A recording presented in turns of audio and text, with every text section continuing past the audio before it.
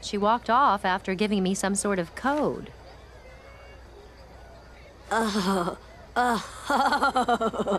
no way. Pearl, that's a phone number. She wants you to call her and talk to her on the phone. Oh, well, I don't have a phone. Pearl, you just like gave her some Shakespearean spiel about light, then got her number like it was nothing? Oh, Pearl, you're a total rock star.